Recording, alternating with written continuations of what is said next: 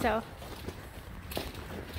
we're down to our last bale of hay and um, opening it up today. I thought the top seemed a little bit damp, but it wasn't moldy. Um, after investigating further, uh, came back out to check animals in the afternoon and collect eggs, um, clean things up a little, and look at the hay better now that it's light out because it was dark in the barn at 7.30 when I came out. And the bottom is all moldy. You can't feed moldy hay to goats. Unfortunately, I screwed up. So I'm wearing my lucky hat from Ireland for a little bit of encouragement and some luck and hopefully get everything cleaned up and better. I mean, the animals still look healthy. I just opened the hay today, so I'm not too worried, but on the other hand, I don't want to be stupid or reckless either with their health. So here we go.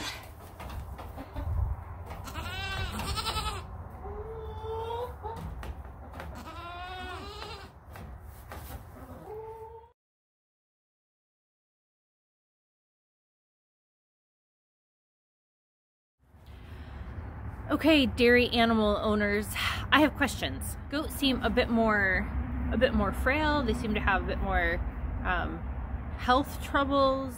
Okay, the moldy hay thing today is an issue, but if we had a cow, I mean, not that I want to feed them moldy anything, but it'd be okay. It wouldn't be dangerous. It's not ideal. Goats aren't good with wet. Wet is bad for goats for respiratory issues, um, risk of pneumonia, um, hoof problems, but is it as bad for cattle? Would it be as bad for a Jersey cow? Um, what about parasites? I'm taking an integrated parasite management class right now, and um, there's a lot to consider about parasite management. Is it such an issue with other grazers? I mean, these are browsers, but is it the same kind of issue with with a cow? I had we had an opportunity this week to purchase a doe who she would be an older doe who had freshened multiple times um, and we would be able to purchase her once she kidded so she would be in milk and we would be able to finally be in milk here on the homestead. And we were really kind of looking forward to that. We were praying about it and so we decided to inquire at least ask some questions about general health. Um, i guess one of the goat that she's trying to sell that doe is CL positive, which CL is a communicable disease. They get abscesses, I guess, with their lymph nodes, and then there's pus, and you have to lance them, and other goats can get it, and that is like not really what we want to bring onto the farm. So I appreciate her being honest. Well, as much as we want to be in milk, we are not so desperate. Uh,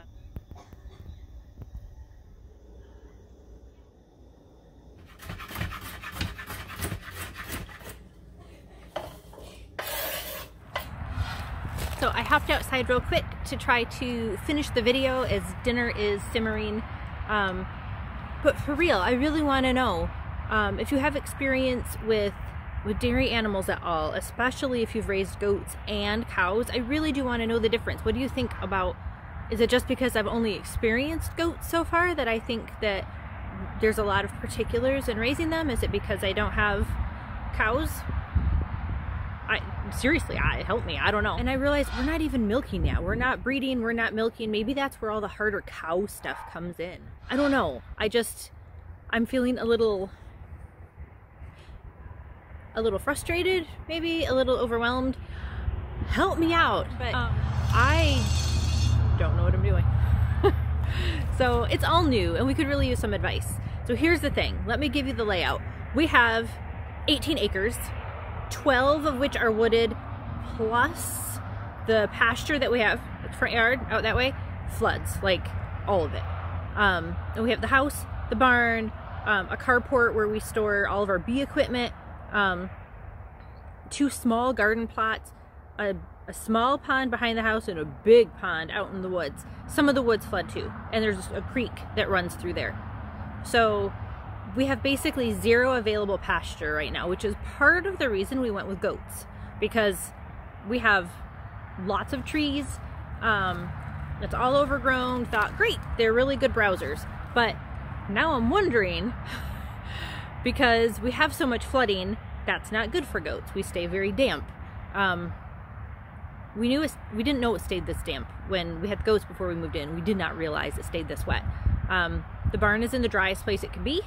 Um, is it wiser to have goats for a couple years, let them, between goats and pigs, have them get rid of a lot of the bush uh, that we have out there? We have tons of um, like raspberry bushes and prickly things. I don't know, lots of stuff, um, small trees, things like that that I think the goats can take care of.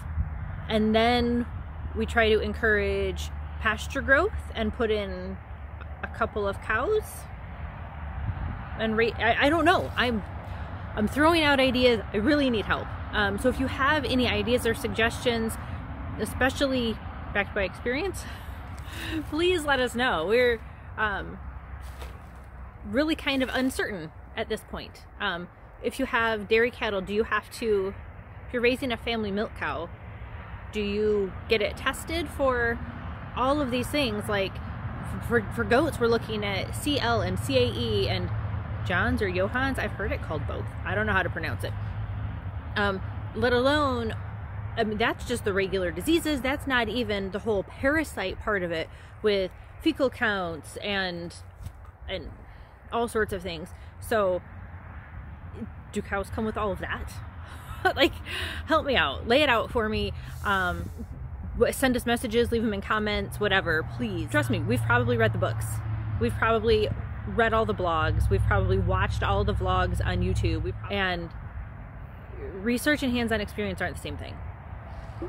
Whoa, the sump pump just went and I about peed my pants. so thank you for your time.